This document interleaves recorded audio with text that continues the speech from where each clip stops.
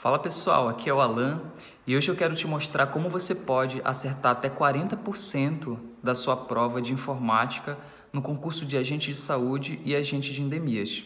Na verdade, a dica que eu vou te dar serve para qualquer prova. Vamos lá. É, são muitos assuntos que são cobrados na disciplina de informática.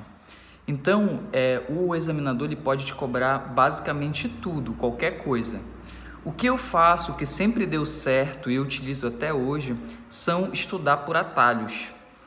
O que, que você vai fazer? Você vai abrir um documento do Word e você vai colar nesse documento os atalhos mais importantes para você ter uma lista para estudar depois.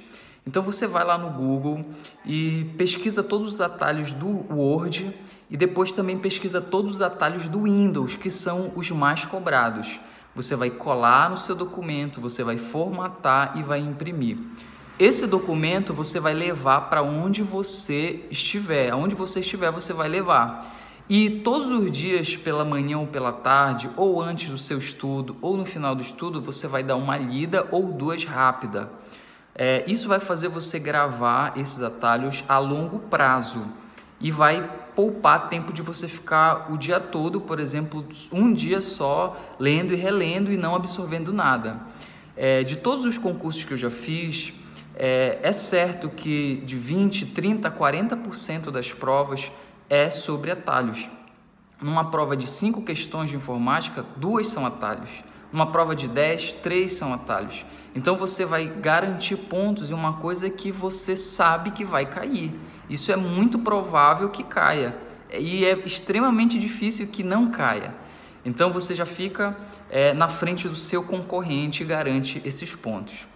Se você por acaso não conseguiu fazer isso que eu acabei de te falar e quiser um documento organizado, deixa aí embaixo, comenta, deixa nos comentários e eu vou disponibilizar esse documento para você. Mas eu tenho que saber se você conseguiu ou não. É, um, uma outra coisa é, se você tiver outras dúvidas referentes à informática e a outros assuntos, também deixe seu comentário para que eu grave os próximos vídeos. Esse vídeo é uma resposta a algumas pessoas que comentaram no último vídeo sobre a prova de informática. Eu sei que é uma dificuldade muito grande, principalmente das mulheres. Então, eu deixo esse vídeo aqui como uma experiência pessoal, né? Isso funciona para mim é, gravar é, atalhos, né? Gravar atalhos, estudar atalhos e gravar eles. E isso vai me garantir realmente ir para a prova mais tranquilo, sabendo que alguma coisa de informática eu sei que eu vou acertar. Então eu espero que esse vídeo tenha ajudado vocês. Se inscreva, deixe seu comentário e até a próxima.